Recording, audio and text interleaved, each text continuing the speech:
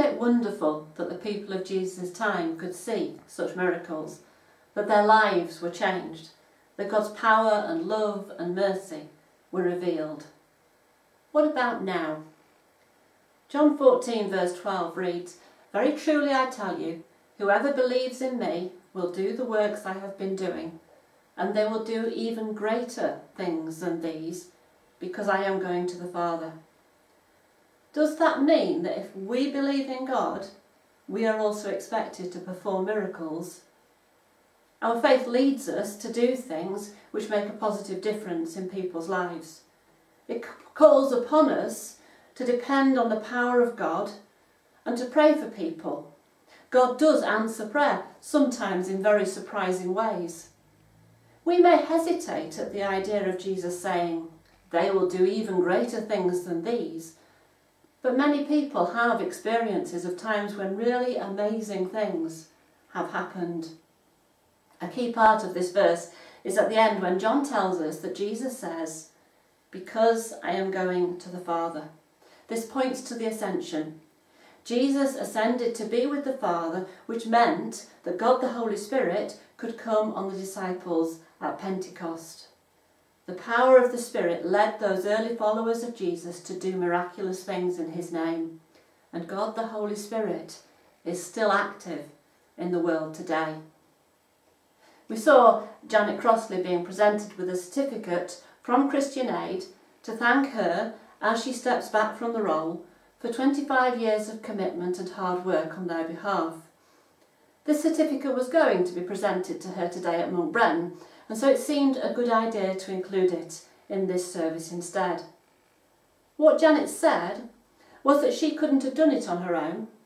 The certificate, she said, was for others who'd worked with her also, and together, following God's way, they have been able to raise a lot of funds and transform many people's lives.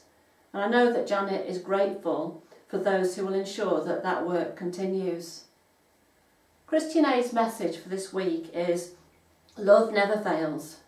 Coronavirus impacts all of us, but love unites us all.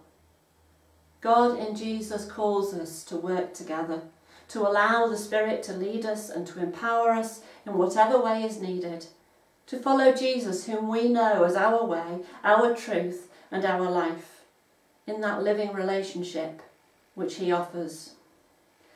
What Jesus did through his miracles was to care for people, to bring them healing and food and the help that they needed.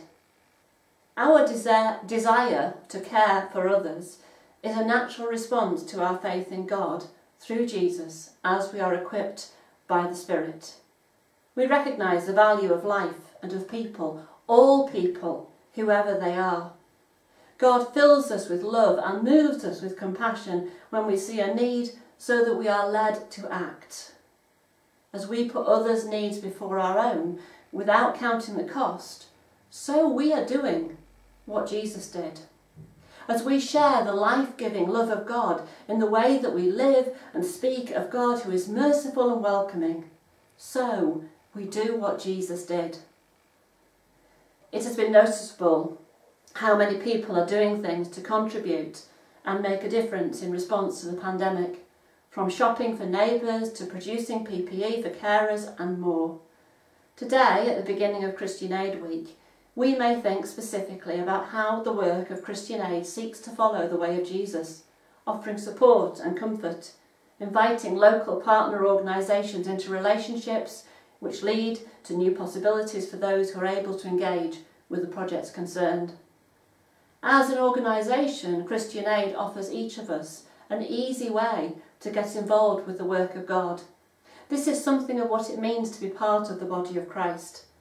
As we share our resources and trust those who have the organisation and ability to make a difference where it is needed. I encourage you to think about what contribution you may be able to make to continue supporting Christian Aid's work. There are some interesting resources signposted from the news section of our circuit website, including a video which shows some of the work that the local Christian Aid group has supported in Ghana. The ascension also means that Jesus is the one through whom we can pray. Jesus speaks of giving glory to God through the answering of prayers as part of the work of God in the world. He speaks of those who have faith in him doing what he has been doing. He speaks of people seeing God as they see him. As we travel through the Easter season towards Pentecost, we reflect on God who is with us in the dark times and who brings us into light, offering us hope for the future.